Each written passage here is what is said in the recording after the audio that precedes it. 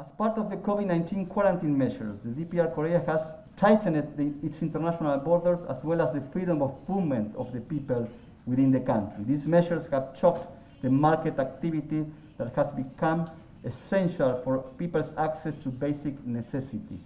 The draconian measures that the government of the DPR Korea has put in place reportedly include a policy of shooting individuals who attempt to enter or leave the country. Today, I call on the international community to agree on a strategy to provide the DPR Korea with 60 million doses of vaccination to cover at least two shots of the entire population as the key to opening the DPR Korea's border and resuming its interactions with the international community and bringing it out of isolation.